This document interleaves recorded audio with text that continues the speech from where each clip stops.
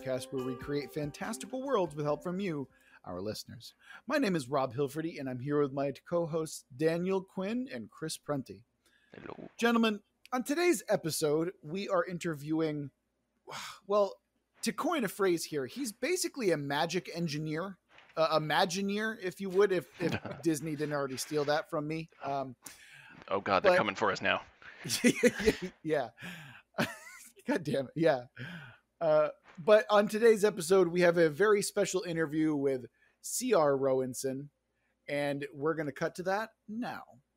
Today, we are joined by C.R. Rowenson. We're going to be calling him Clark for the interview. Uh, Clark, thank you so much for joining us today. Really appreciate it. Yeah, thanks for having me. I'm super excited to be here. Yeah. And for those of us who might not know you or your deal or anything like that, why don't you go ahead and tell us a little bit about yourself? Uh, how much do you want to know? I guess is the first question. we do have an hour slotted for the podcast, and at least 15 of it is going to be a world building jam. So that's entirely up to you. Okay, okay. So we'll skip the really deeply repressed stuff from childhood and we'll just jump straight into recent years. Uh, Actually, if we want to just focus on the deeply repressed, I mean, that's that's also acceptable. So, I can come up during world I mean, that may be Yeah, a more interesting episode, but yeah. Yeah. Uh, let's see. So I have a background in chemical engineering and chemistry, and um, I really love writing fiction, RPG stuff. I've been writing for probably over a decade now, but currently what I really focus on is I do freelance developmental editing, writing coaching, and my big obsession really is magic systems. So magic systems for books, for comics, for video games, for tabletop RPGs. Anything that has a magic system, I love talking about it. I love building it. I love tweaking it. And um, I'm going to start a fight right away and say they aren't the same, but you can treat magic and technology the same when you're building them. That was initially one of the biggest topics when we were, you know, like reading some of your, going over some of your articles. Is. Mm-hmm. Daniel immediately just was like, "Well, wait a minute, I immediately hold on," and then and then like pushed up his nerd glasses just a little bit more. Yep. So I'm Daniel, why let don't me get my nerd hat. yeah, exactly. Why don't you, why don't you bust out your why don't you why don't you start that way, Daniel? Just go So ahead. That's how the I would fight just like- started. no, I just want you to. I want you to get make your get. Because I've been reading a bunch of your articles. I want you to give us an overview of your approach to um, differentiating between magic and technology, how they are similar. Because the first, the, the first, um, uh, the first quote that we have from you is magic is anything enabling actions beyond our current understanding or ability. So give us the the, the skinny on that and how writers can approach um, dealing with magic in their stories. Yeah, so part of that is me being uh, cheap and cheating because I was I wanted to cast a broad net because uh, I as I started working on this stuff over the years and working, it really kicked off when I started working with people and had to explain my process and help them with theirs. But I started noticing the way we were handling monsters, advanced technology, lost technology, as well as your traditional like nebulous magic system, kind of like Lord of the Rings or something more like uh, Mistborn, it all came down to a lot of the same approach. So I kind of just lumped everything in, and uh, I'm using the term magic because really what it is is is its fantastical elements. But if I say that, nobody knows what the hell I'm talking about. So magic is anything that is that leap beyond reality where you need people's Mm. buy-in. That's not just the fiction of these events didn't happen, but of no, this isn't real and this can't be real. All of that to me is magic. I Like, see. So it's a way of understanding the the kind of the weirdness in stories and then figuring out systems for them. Yeah, to be cheesy, that's the magic of fiction. Is it's that leap that we're able to take. Cool. Well, yeah, it's edifice, right? Like it's I, I I understand it that you're using it more as a shorthand for fantastical devices more than anything else. That that that makes sense to me. Um, the only thing that I kind of am curious about is that like where do you differentiate between fantastical technology and genuine magic or you know what I would consider like fantastical magic? You know, what's the difference for you? Or do you really not have or do you not really not see one? Okay, so there there is a difference, and I know we only have an hour, so the question is whether this is the thing we really want to dig, dig into. Because when I say like I'm a nerd about magic systems and I obsess about it, I'm not joking. Maybe you can give us um because I was reading some articles about yours that that that covered um Sanderson's like allomancy, and maybe you can Mhm. like give us like an overview of, of how you think about that and how you how you can systematize magic from that perspective. okay. Uh, have you guys read most of the Mistborn books, including the new series with Wax and Wayne? I've read a good not, portion no. of it. I Okay, but so I'm familiar with it. Okay, I'm I'm gonna use that kind of as a baseline. There's a little bit of spoilers there that I can skip if you want, but just because it's nice to. Sh- that series is terrific because it actually you can see a transition as something is going from more magical to more technological as he goes through his two series, which is really awesome. So the the short version is I have a number of values and uh, settings like I like to think of magic kind of like a, a soundboard or even just uh, a color palette where you're just moving sliders and dials back and forth between settings, and then the overall agglomeration of all of your settings is what determines the overall feel and nature of your magic system. The specifics all come down into the specific effects and the way you present it, but the heart of how your magic system works and feels and compares to others all comes down to these variables and um, one of them i know we don't have time to go into all of them but one of them is uh, transference. So transference is everything related to how people gain the power in the first place. Not necessarily where does the power come from but am i am i born with it? Am i trained in it? Or can i say pick up a device and then do it? So that to me is the difference between magic and technology. Magic generally has a lower level of transference. You take original Mistborn, pretty low transference. It's all hereditary. It's um, you get it through genetic lines, through the noble lines, as you learn more about the story. But people don't really have control over which person is going to be born with it or not. You just know I'm of noble blood. My children might have it.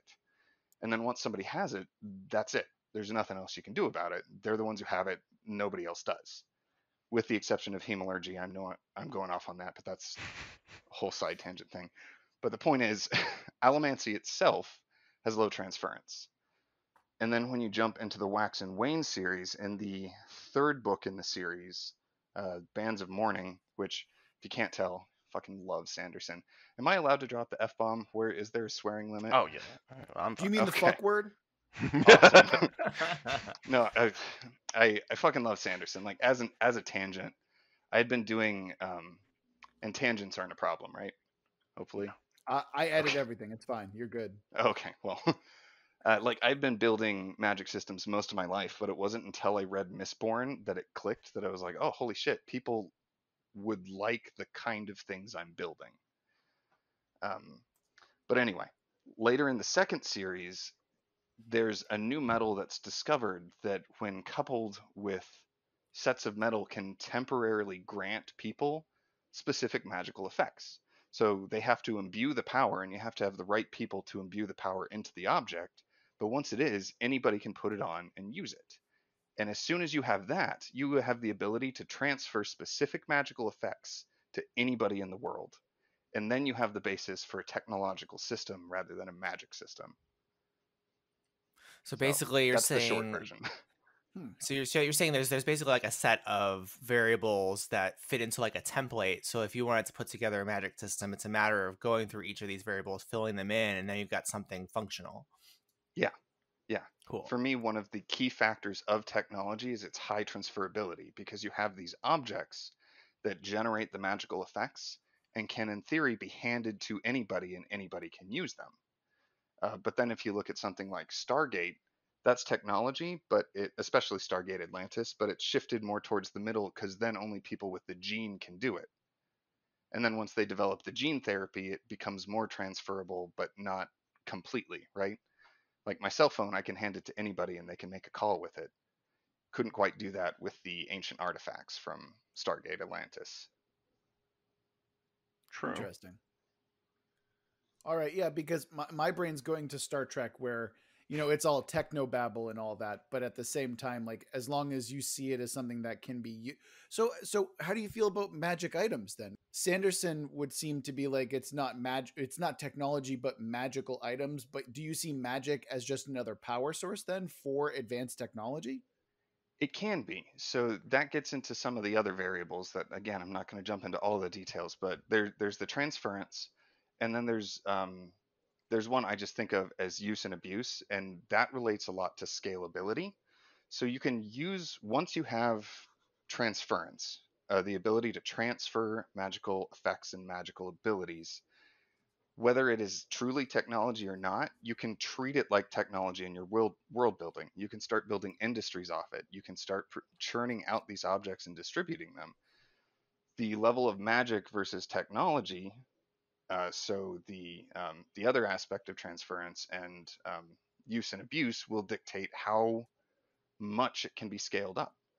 In Mistborn, specific people have to imbue the items, so they are revered they are um, like they're going to be rich they are the people in power in the society because they are the ones who can generate this immensely useful technology if people have a high enough knowledge or which is another one sorry i'm just throwing these out left and right but if you have enough knowledge of how things work then you can take it out of the hands of specialists and start putting it in the hands of everyday people at which point everyday people can start mass producing this uh, mass producing this item that can be used by anybody, and you now have something that can be a widespread, common piece of technology or magic throughout your world.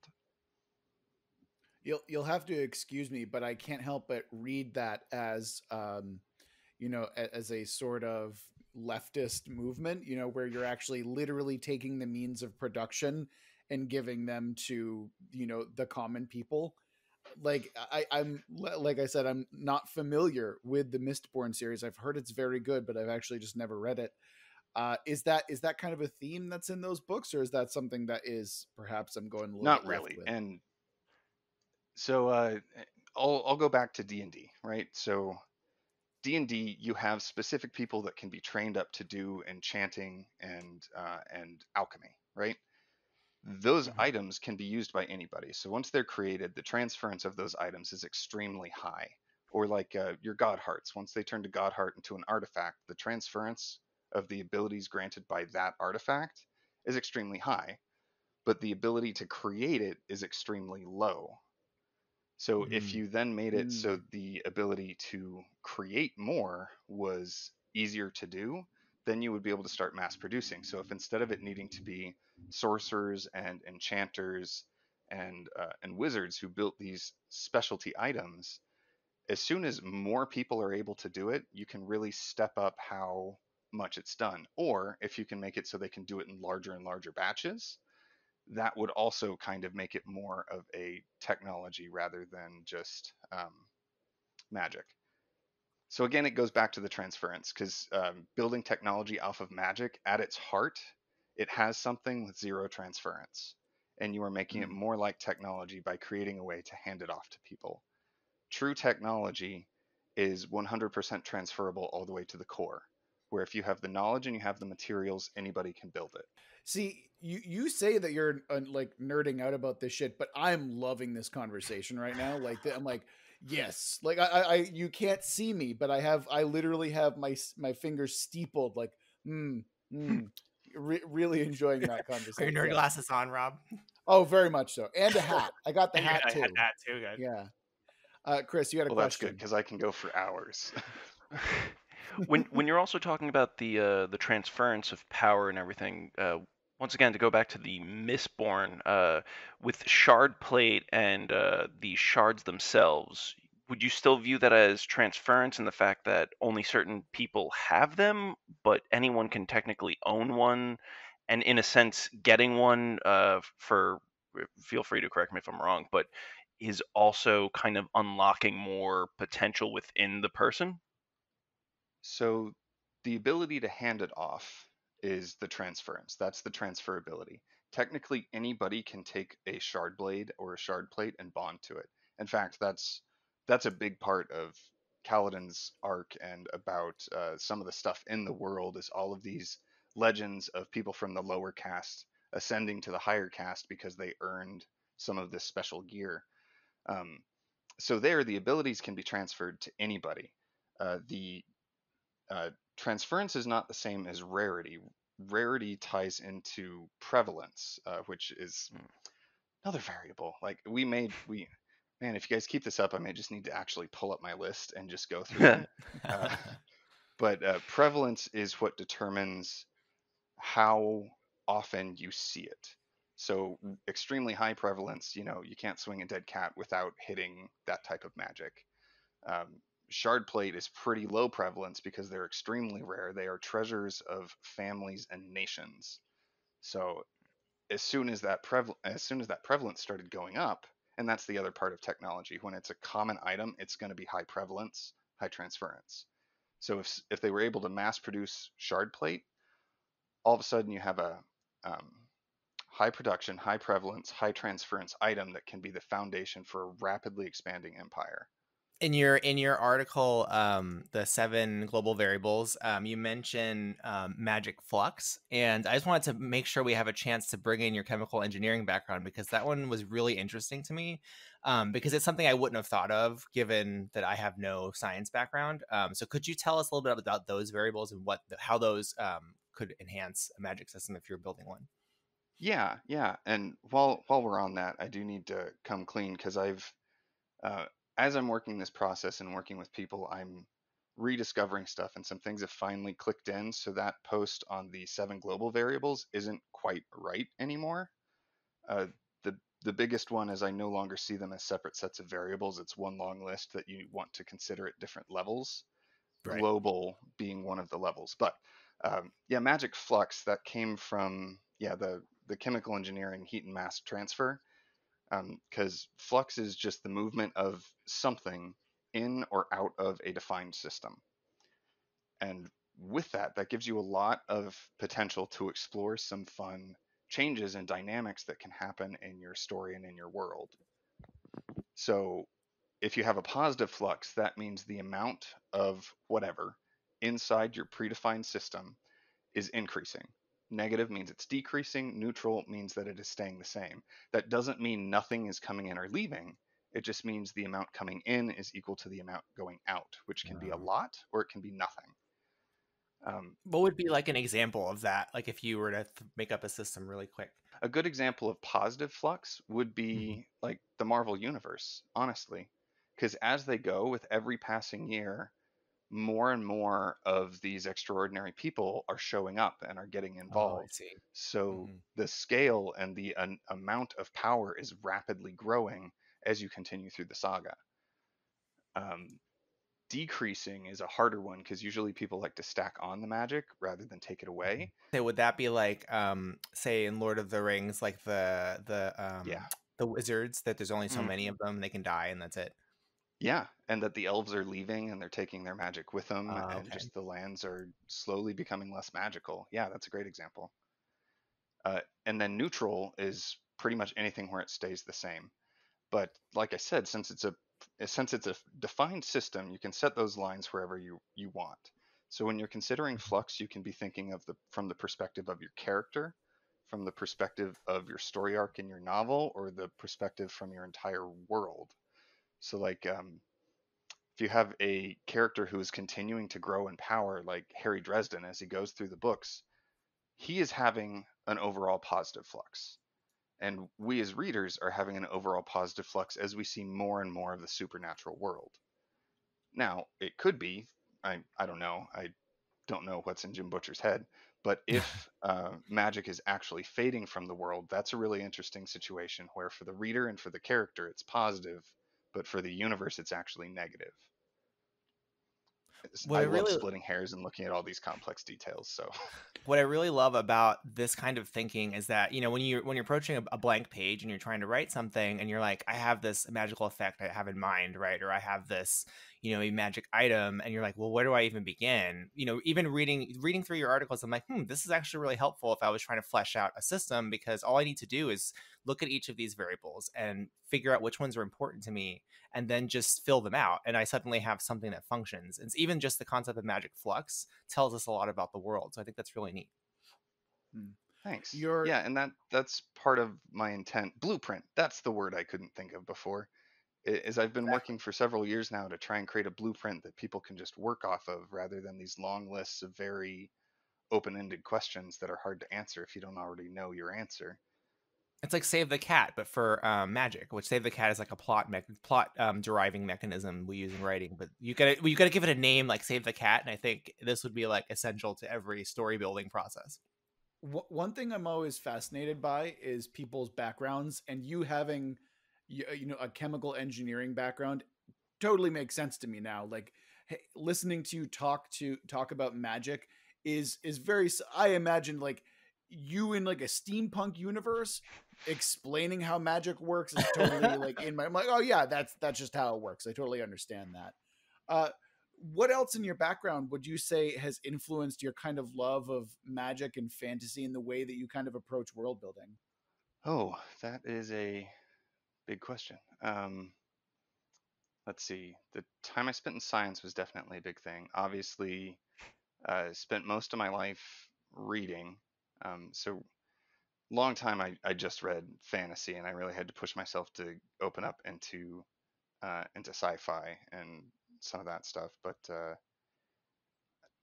I guess really the standards, unless you want to talk about like specific inspirations, but um, novels, video games, and tabletop RPG stuff, especially tabletop RPG stuff. Once I started discovering um, different setting, campaign setting guides and stuff like that, where it's like, oh, this is just a work, a book of nothing but world building.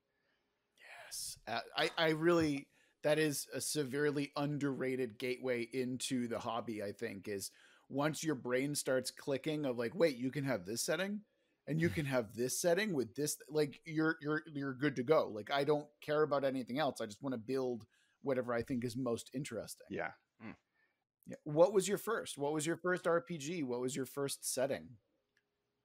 Uh so first game i played was uh, just a standard d&d 3.5 that i played with my friends in their basement um and that that was in high school i didn't and then i played some more 3.5 in college and then I've just kind of been expanding and exploring and looking at a whole bunch of different stuff and I started GMing about 2 years ago now which was a which was a big jump.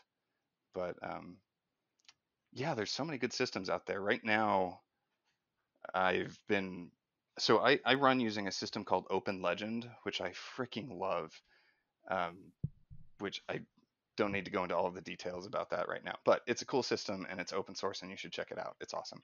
Oh in, in your in your in your background um i noticed that you were involved with some interactive murder mysteries is that right? Oh yeah. Uh, can you uh, tell us about that? Yeah so when i got out to california i made it that was when i that was a year or so after i had really gotten serious about my fiction writing and I came out here. I looked for some local writing groups, joined in, and started hitting it off with some of the people out here. One of them was a really big theater guy that did fiction and had done some of the inter- these interactive uh, stories before. So he and I kind of teamed up because he liked how off the wall and creepy a lot a lot of my stuff was that he had read. So they went from a lot more light I don't want to say light-hearted lighthearted, but uh, he did more like Agatha Christie style murder mysteries, and then mine were a lot more like grim, grim monster murder mysteries. so mm-hmm. we had one where it was a bunch of people who got trapped in the desert and died because of a cave-in, and you had to figure out where the murder happened with this cold case from three years ago. Oh, um, neat. Yeah, stuff like that. Uh, How did that influence like your thinking as a as you start to do GMing and as you start to think about RPGs and magic systems? So for me, magic systems have kind of been the gateway into everything for me, into uh, into reading fiction, into video games, into RPG stuff. That's really been and, and even world building. That point where I start to see like, oh, this has this has a huge connection to this or a lot of room to play out over here. That's where I really start to get into it. Um, the murder mysteries really helped me focus on uh, audience knowledge as opposed to character or personal knowledge because that's one thing mm-hmm. when i'm when i'm coaching writers and i'm helping with some of their stories that's one of the big things you see is they have stuff in their head that they didn't put on the page and then it mm-hmm. makes it confusing and same thing with uh, when i'm gming i have to make sure that i actually deliver the information that i need them to know um, but at the same time it's really helped me understand when by holding back just a single sentence i can start to build up some tension and I'm not going to say I'm great at it, but I have a lot of fun doing that to my players. They may hate me for it. I don't know. Uh, I had a question of what are like, what is a time that you've seen either like a magic system or in sci-fi, uh, a light magic system that's upset you, like a pet peeve or something that uh, you can recall seeing. Okay. Uh, this might upset a lot of people because uh, I know it's a very popular series. Do it. But do the it. Night Angel series by Brent Weeks hmm. upsets me a lot. What about it? Um, part of it is it's kind of an extension of what I didn't like about most of the book. Uh, is it? It felt extremely fan service. It didn't feel like there was a reason for stuff. It felt like, oh, they need to have illusions and shape shifting and telekinesis and magic poisons. Oh, and healing, and there's got to be fireballs. It was kind of just like I'm gonna throw everything in just because it's cool, and that's it. And then I'm not gonna try and tie them together. It's just it is this, it is magic. There you go. Um, that that really upset me. the wizard did it, kind of thing. Yeah, yeah. That that in general really upsets me. Um, when it's done wrong because you can you can do that right but it's really easy to do wrong um, if you haven't read it if you want a really good example of a of a soft magic system where things aren't really explained and they solve a lot of big problems with magic but it still feels okay uprooted by naomi novik is fantastic because there the wizards all have their own style and they're randomly using spells to solve what would be pretty big problems, but she does such a good job that it never actually solves the major plot. So even when they solve something that could have been a major hurdle, it doesn't feel like it. And you don't feel robbed. But yeah, if I feel you're robbing me of tension or experience or um, or anything really, just because you wanted you wanted your telekinetic assassin in the story, I'm going to be upset. I suppose that that kind of leads me to my next question, which is where do you see the difference between bad writing and bad world and bad world building? Or or are they synonymous to you? That is a very good question. So I I love world building. Um, I'm going to be honest though, it's not until the last couple years that I've really expanded my start. I have been intentionally expanding my capabilities beyond just the magic system. Uh, so I'm still learning a lot about all the world building, which is why I found this podcast and why I love it so much. Um. There is there is so much in writing that just comes down to the presentation. Um, I, I feel like there's some pithy quote somewhere that would relate to this. They can both ruin each other, and when either one of them is bad, it can be hard to tell which it is. A good writer with a really bad with a really bad magic system can pull it off, but it's mm. still not going to feel right. And a really bad writer with a really awesome magic system, I'm not going to care about the story. Like they can ruin each other. why why am I why is Tolkien coming to mind right oh, now? Oh, screw you.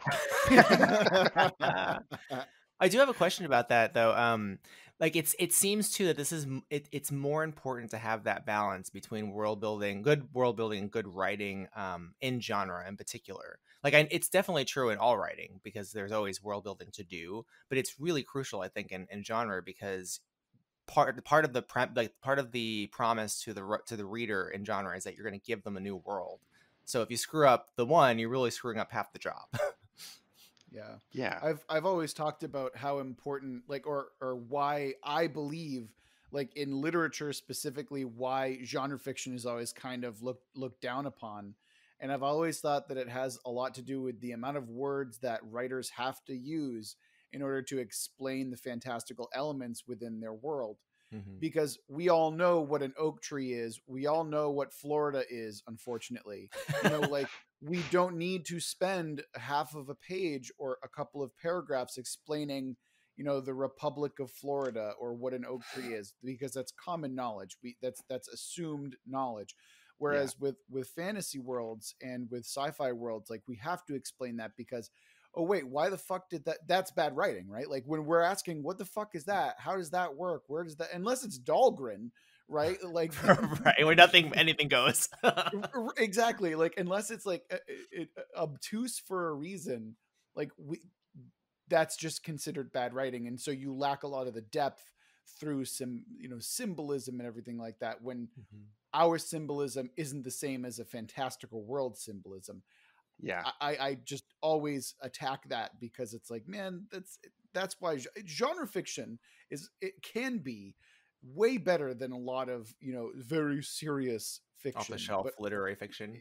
exactly. Mhm. But oftentimes it's poo pooed simply because you have to do a little bit more, you know, legwork, and that's why, uh, again, why you see thousand page books of of fantasy and significantly less thousand page books when it comes to a modern drama setting type deal. Mm-hmm. Yeah. Yeah. And that's Sorry, my rant over. the- I, I have to get that off my chest. Ever it- like every time I hear it, I'm like, God damn it, genre fiction. Sorry, no. continue. No, you're absolutely right. And and like cutting down on the number of words you use in your story is one of the most difficult but one of the most rewarding things that I have found in my writing and working with other people. Because I know when I'm forced to take a paragraph of um, if I'm forced to take 100 words down to 90 or 80, it always ends up better because I have to really dig deep and I really have to work on finding a better way to explain it or just removing unnecessary elements. Um, but yeah, and, and yeah, you, you have to have both. Like, um, sto- again, magic is how I got into writing because I first started was making these big, elaborate, intricate magic systems, which are, in my opinion, still super cool, and I still plan to put them in some fiction novels eventually. But uh, I was I would just spend hours talking to my friends of, about it, and eventually they said, "Clark, shut up, just shut up, write it down, and we'll read it. I'm tired of listening about it, listening to you talk about it. Just write it down, and I'll read it." So I wrote it down, and then they didn't read it. So in my head, I was like, you know what? I'll put it in a story, and then they'll want this extra info- information. Those jerks. Uh, so, so that's that's how I got Trojan horse it. Yeah. Yeah. Um, so I had I had a question on the same subject matter there in terms of editing, working with writers, um, and generally being someone who has to like market themselves. I think this is important to indie indie RPG creators as well as um, you know aspiring authors. Um, and you also mentioned in another interview, um, I, I think you were talking about twenty books, fifty k. Is that the convention that you had gone to? Yeah. Yeah, so and I, I'm familiar with that one. So 20 books 50k is a um, it's a Facebook group and a convention about writing 20 books, self-publishing them to earn 50k a year and getting keeping them in circulation. Um, and it requires a lot of ambition and a lot of planning and marketing. So what I would ask you, having been to that convention, you know, having done your own podcast, working on these mystery, um, interactive murder mysteries, you know, got your blog going, how do you keep all the pots boiling and how do you, um, you know, like what is your advice for people who are trying to have that hustle? I wish I had a magic bullet. I really don't, because my answer to trying to keep all of the pots boiling is I took a bunch of them off the stove. Uh, So so yeah, because for a while I was running my blog where I was posting once every two weeks, and if you guys have seen the articles, those aren't those aren't short articles. so they they take a good chunk of time for me to write. And I was doing the podcast, I was trying to do fiction, and I was also trying to write nonfiction, and I was just losing my mind and making no progress on any of it. Mhm. Um, so I I had to make the personal call to really focus in, and that's why right now I'm actually really focused on my nonfiction. Um, for Oh, interesting. yeah, for for a couple reasons. One of the big ones is you mentioned Save the Cat, uh, which I Mhm. love. And if also if you guys aren't familiar with KM Weiland, she has amazing stuff on story structure and um, and plotting. But there's a lot of stuff out there already for story structure and character design and character arcs and and all that kind of stuff. I couldn't find really anything besides Sanderson's laws about how to build magic systems. So Mhm. I made kind of a judgment call saying like, well, this seems like a niche that is being unaddressed and I think I can address it. And that's where I've really been focusing in for the last couple years. Um, and we'll see how well that works out in the long run, but that was part of it was was really focusing in on that. I think we're really approaching um, a point where we can actually kind of treat genre fiction and you know in your case magic specifically with a lot more seriousness which i actually really respect i think that we're finally realizing that we can make these stories better through study and you know process and everything like that Uh, doesn't I- have I to be think that- just instinct anymore. Absolutely. Absolutely. I mean, uh, Sander, it, it's crazy to me that Sanderson was the first. It, it gets credit for being like the laws of magic. And Right. like, how long has genre fiction been a fucking thing for? And Sanderson is the first one? Like, are you Oh, kidding? That's ridiculous. And his his principles are sound, but they're just they're pretty you know standard thinking for for Yeah. writing. you know, in Yeah. general. Absolutely. Uh, and and to go back to your question about the pots boiling, like Yes. because again no i don't i don't have a magic bullet just i can just tell you my approach because the other part of that is i'm in a fortunate enough position that i can afford to carry out, carry on with my writing work on the side and have and maintain a stable and healthy life so i don't i don't need my side hustle to kick off and I know that's not always the case for some people. I know I'm very fortunate to have that, and I am abusing the shit out of that. I'm gonna ride that until success does tip over and I can jump, and not a second before.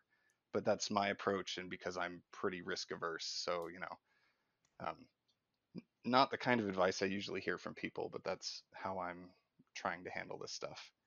Well, I'm looking forward to you producing a book on, or finishing the book, at least on your website, about um, magic systems, because that would be a great one for genre readers and writers to pick up. Yeah, Absolutely. and actually, uh, since you mentioned it, the the workbook is actually going to be published at the beginning of September on Amazon. and Oh, It'll be wow. available on Amazon, so Oh, great. real excited Wow. about that. Cool. Uh, I'll be it- using that one. Yeah. All right. And with that, we are just about approaching the time where we get to do a world build jam.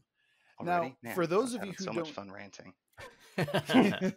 Goes fast. I- to, to be fair, I was having a lot of fun listening to your rants, so that's Yeah. totally acceptable.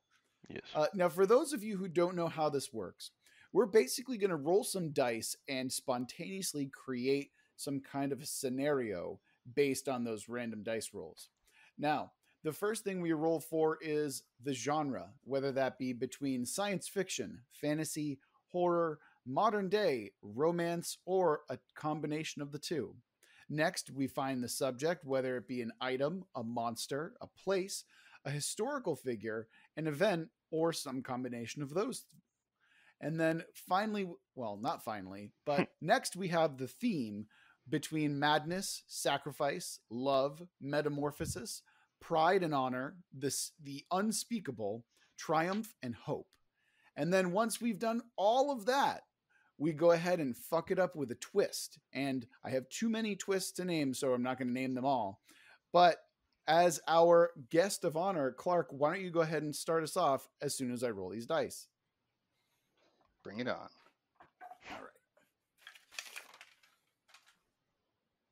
So I'm going to move the microphone so it gets a nice Foley effect. Oh, yeah. Okay, good. First up is the genre. We're doing modern day. And next, Ooh. we have the subject, which is roll two and combine them. So Oh, I'm going to roll some dice again. Uh, we have a monster and a historical figure. that makes sense. That's interesting. Okay. Another Teddy Roosevelt. Uh, yeah, fighting the Sasquatch. That's where my brain immediately goes. All right. Oh, you can't plant that in there. Now everyone's thinking about Teddy. Uh, t- to be fair, everyone should be thinking about Teddy Roosevelt all Their the dreams. time. Yeah. Yeah. Next and almost penultimately, we have the theme, which is pride and honor.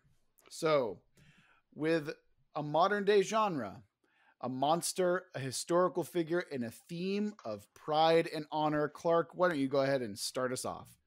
Okay, well, modern day, like nothing nothing new or creative about this, but modern day that my brain immediately jumps to urban fantasy or something that is slewing away from urban fantasy by being a little more common. Mhm. Historical figure and monster. So not quite sure how the theme works in, but I've I've always loved uh, Digimon, and if you guys have read Codex Alera uh, by Jim Butcher, um, just the the idea of somebody bonding with a monster and forging that connection. So I want to tell a story where we have somebody in modern day who has gone out into the wilds and has been the first person ever to bond with a wild monster.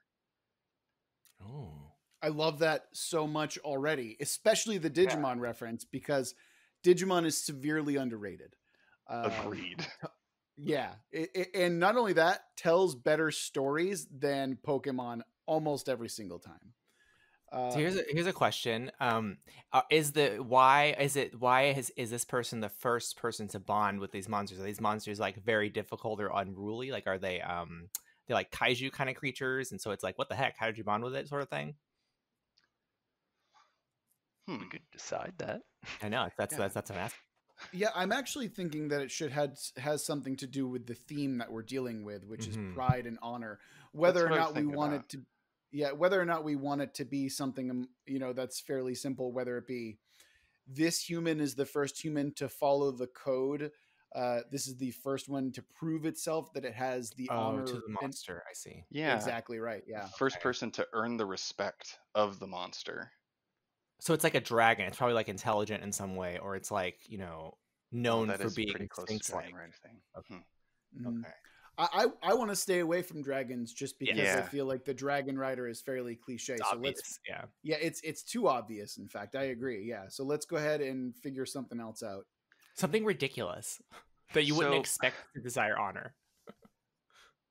So if if the kind of what I, my brain is drifting to now is if the monsters are just creatures that have been warped and part of that warping is they gain higher levels of intelligence, then each Mhm. monster would have its own version of honor and what it is proud about, right? So maybe it's just flattery, right? It it goes up to uh um oh shoot, what are what are the birds that Hercules fought that had the the wings that could cut down trees?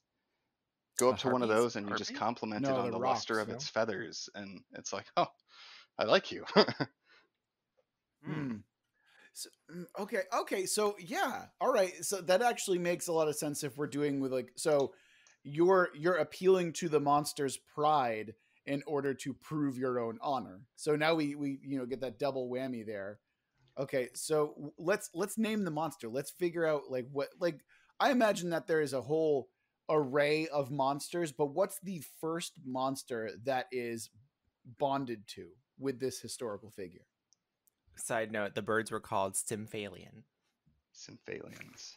Very important, Daniel. Thank Very you. important. I had to Well, it know. is. I mean, we can go with Symphonax. Ooh. All right, all right, all right. Oh, so are they oh. sphinx-like? I, idea. So uh, going back to the pride and otter, honor, otter, pride and otter, completely different subject. Uh, It's an otter have to- monster. Oh, yes. Yeah, we're doing You- we're doing otter monster boys. All right, that's that's it. Got such little hands. Actually, yeah. Let's let's do a giant otter that has the height of the Nemean lion. I'm I'm actually down for that. Oh, that's dope. Yeah. Let's- let's hundred do And- percent. But they're still cute though. Can they still be kind of cute? You know, little Oh, hands, absolutely. and they like building stuff. Well, the hands aren't really That's to be kinda why it's terrifying. It's this giant, Yeah. adorable otter that is just taking mortar shells to the side and not not doing anything. Uh, but uh, okay, right. so so we have the otter, but my thought was you have to get them to pay attention to you by appealing to their pride. But maybe there's actually a compact, kind of like with warlocks and demons, and then throughout there, both parties have to honor the contract. Otherwise, the Hmm. bond could break, and they would both lose any benefits that they had. That's great. That's So they amazing. mis- they're mischievous then in some way, or like devious.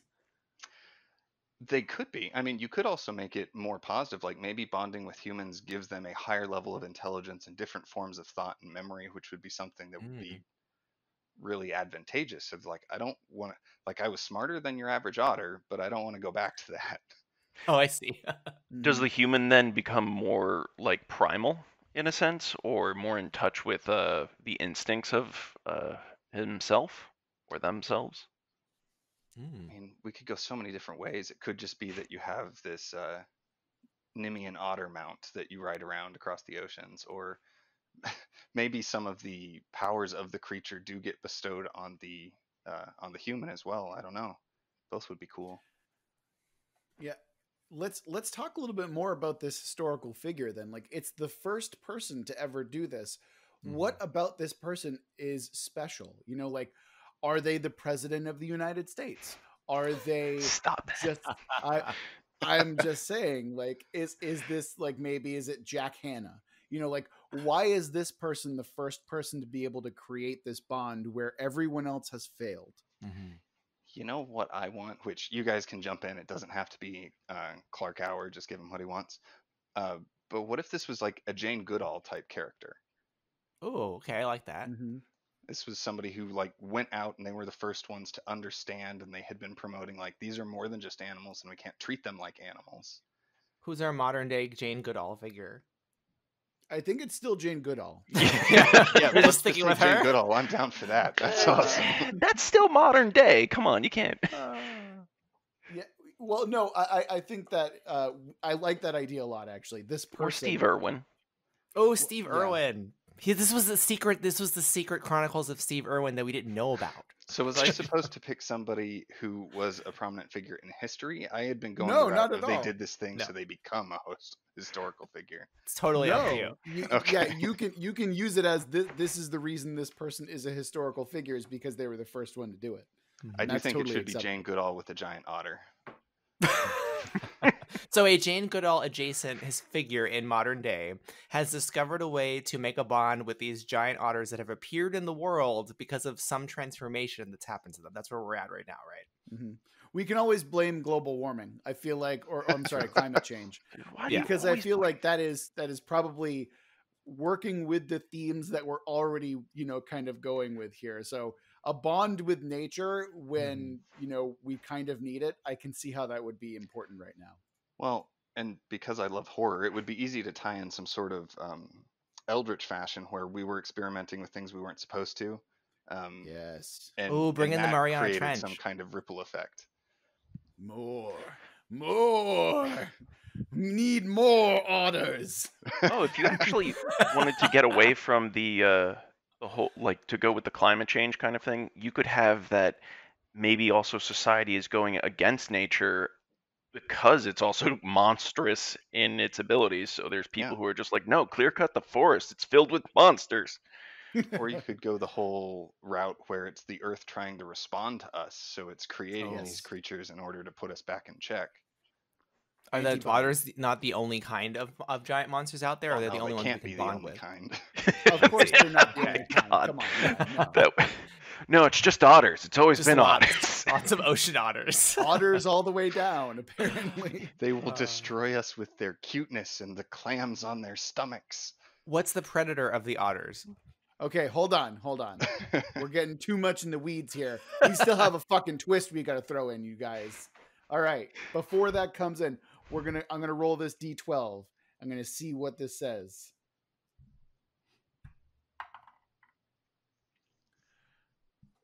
Guys, there's no twist. What? what is There's it? no what twist? Does it say? That's the twist. That there's no twist. That's the twist. yes. Why is that a twist option? No, that's actually not- I don't. Can we re-roll that? Are you sure that it wasn't something about dwarves and you're just not? Yeah, it must No. be dwarves because he No, no, hates no, no. them. The the actual twist is that there's no twist. That is the twist. What? Okay. Son Yes. of a bitch. I don't like Yeah. it. You Well- don't have to like it, Daniel. I'm not trying to please you. It's bittersweet. I'm appealing to the list. God I damn it. feel like I feel Good like thing CR we already have been a cool concept. exactly. Also, if you don't like the list, you should contribute to it instead of having me do all the work. It was a group list. Oh, you added one I've added more and you've deleted them. because they're bad ideas. Keep adding dwarves, Chris. Go add like twelve dwarf situations. I've tried Uh, hiding it and in saying the s- little people. Uh, Or aphids. dwarves and trees. Uh, Okay. All right. So, without the twist, let's go ahead and figure out what is the predator of these otters. well, I Of guess that giant really- beast. What's that? The predator of these giant beasts. Yeah. Because it's not just otters, right? right. Right. Well, I mean, I guess well, part I of- no, because if that's the case, then humanity is the obvious. Like maybe, maybe that's the thing is that there is a clash, and the reason that the first person to bond is because it's a matter of no one has ever bothered to or thought to because it's oh shit these things are ravenous horrible beasts and we're getting murdered by them and then this jane goodall type is like okay well uh, we're gonna try and study them first Mhm. Hmm. So you're saying man, to some degree, is really the predator. So Obviously. or or what if it's just um so if I was doing if I was building this as a magic system, this would be a good point to figure out like where the origin actually is. So we have a pseudo Mm. global warming thing caused by our own pride and hubris. And depending on how that kicked off, we could just pick a whole bunch of stuff from the area. Um, Oh. and all of that stuff could be kind of the the the eye of the hurricane where that's where all of the stuff starts and then it spreads out from there. Hmm. Ooh, like maybe there's like a, a cli- like a, a big another big spill that's like involves like I don't know nuclear material to be like cliched or something as the Yeah. origin point. Well, see, mean, I was actually thinking that everything's buried underneath the ice. You know, like Ooh. you it, these these old these ancient creatures are being awakened. Oh, because okay. The ice Oh, age I see, them over, okay. yeah. Okay, makes I- sense. you're you're saying Yeah. literal global warming. I had been thinking Yeah. like a s- a magical global warming, which is changing Oh. changing things on the globe. But I, I, don't mean, know. My why not my gut both, instinct, because yeah. it's horrifying to me, is some sort of monstrous saltwater crocodile, and those things are already terrifying as it is. So Oh, old dinosaurs! Can we bring? They're they're dinosaurs that have been preserved. yes. Nobody's excited about dinosaurs. Damn you all, all of you. as I- long as you they can be, I I, I just want to go fantastical with them. That's my only request. Oh, I mean, if you go uh, add magic to dinosaurs, you, you're very close to dragons. Just don't give them fire. Don't give them fire. Give them other magic. I, you know, I have to agree with that. I've always thought that uh, fire-breathing dragons are by far the lamest of the dragons. Mhm. Like, why Mm-hmm. Lightning. not? I, yeah, lightning is always the coolest one for me. I've I've always thought lightning dragons are the fucking coolest. molten gold would be cool. Oh, that's a good one. That I It's can, It's a I can very respect expensive that. dragon. Oh yeah. Okay, All so right. so what if actually parasites have uh, been magically enhanced too? So you have a couple major species, but the real problem is the parasites and the bacteria and stuff that have been supercharged. Hey, that's a great Ooh. idea. That's not, and and you can have like uh, an antagonistic force with that that's somewhat intelligent as well. Oh, uh, what you could also do with the parasites and everything, uh, and the melting of the ice caps, is you could have something that's a parallel to the thing that is taking over a bunch of this uh, megafauna and like attack or meta megafauna or Yes. flora. Megafauna. Megafauna. Yeah. Meat moss, hell yeah.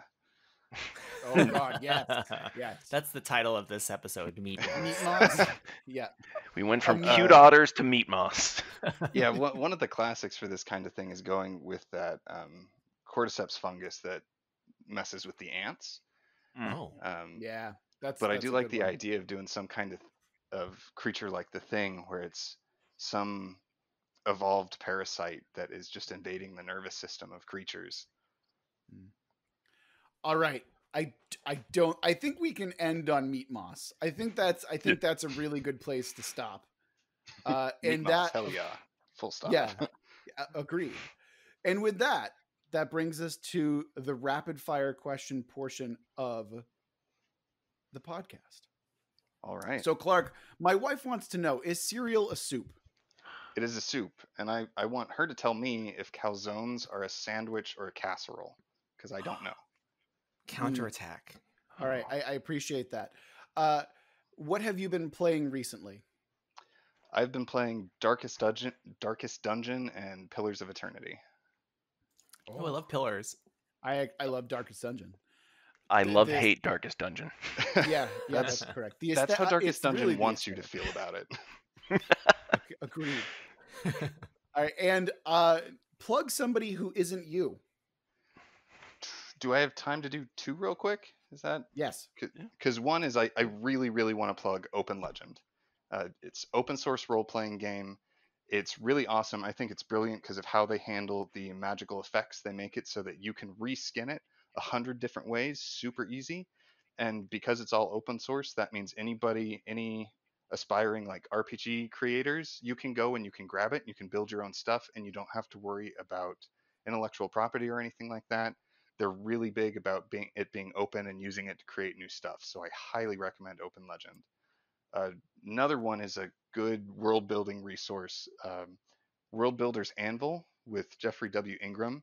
So you guys do a lot of the exercises, which is amazing. You need to see how to go through the process.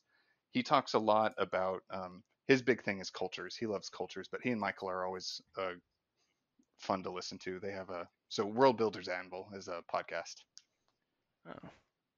We should probably have them Sorry, on is, the podcast. is that not kosher? Oh, yeah, throwing out that's No, no, no, no. I'm, I'm looking them up. just like how we should, that get, we should actually get them. before? Yeah, yeah. Yeah, we should. I feel like there's some overlap between our two podcasts that we should probably talk about.